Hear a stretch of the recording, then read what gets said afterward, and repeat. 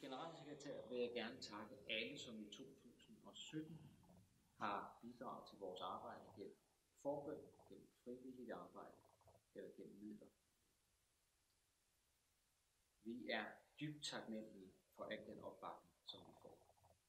Og vi hører jo dagligt fra vores kolleger, fra vores samarbejdspartnere rundt omkring i verden, at det arbejde, som vi gør, faktisk nytter.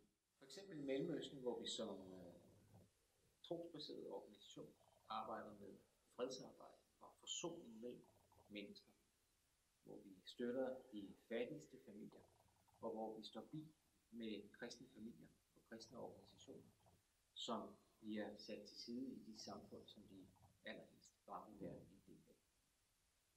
Jeg er rigtig glad for, at du er med til at støtte det arbejde.